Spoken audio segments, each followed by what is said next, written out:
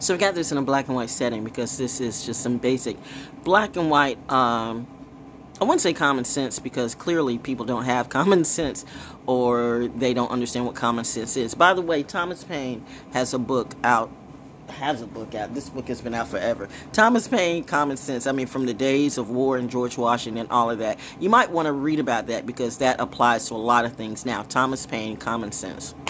Anyway, when it comes to certain people who therapy has now is literally now a trigger and a buzzword and a narrative word therapy psychologists counselors. And that is not to say to knock therapists and counselors who are really really good at what they do.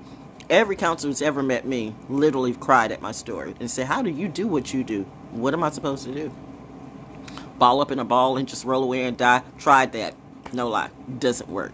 But the point I'm making to some of you, before you uh, just spill out what you're going through through to your counselor or psychologist or psychiatrist, you might want to vet that person because evidently narcissistic counselors and therapists and gurus are a thing. Narcissist means they will use your information against you. They will use you as a supply, reminding you they are uh, well, you are feeding them. You are their cash crop.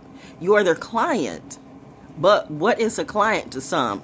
To some, a client is just like a drug dealer. You know what? You get that person hooked and you keep them coming back to you. That's what some narc counselors and psychiatrists and psychologists do. I'm not saying the good ones, but I'm saying I am clearly aware, especially if they call themselves gurus or whatever it be.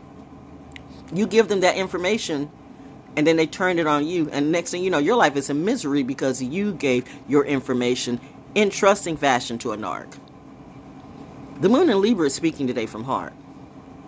If you get it, you get it. I'm just saying, before you just give away, therapy is a thing, okay, but vet your therapist too. I mean, you vet everything else. Really, you need to vet the people that you want to love, but you really need to vet your therapists and your doctors too. Because just don't assume that because a person gives himself a title or even has a title, that they're good for you. They're good for them. They're doing what works for them, not for you. You have very, very, very, very, very, very few of us who really do it because it's our heart, it's in our DNA, it's in our legacy. We give this and then we realize we give our own gift away. While other people are literally um, making money off of our gift and say we don't exist. If you know, you know because it's been done to me before. Experience is a teacher, real experience. And then the gift is a person who can reach that mind who says, you know what? I felt her all the time. She never lied. She never switched. She was always that chick. There's not a lot like me. Very few, in fact. Everybody can't be an oracle. And nor really should you want to be. If you if you you really wouldn't want to be me. Honestly, you wouldn't. So think about it. If I'm the one that's literally telling you, you know, that preacher's fake, that teacher's fake, that leader's fake, everything about Hollywood and Hollywood is fake. Those people online are fake. Those th that psychiatrist and psychologist or whatever they call them, that therapist fake. That person's with that organization is fake. Then I get hated on. It's uh, it's it's, but it's poetic justice.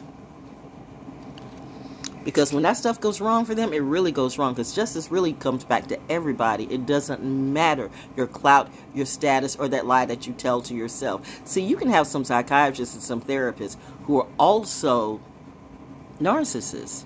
So they need help. All I'm saying is vet your people. Vet your people like the CIA would vet you if you stole some money from the government. I'm just saying.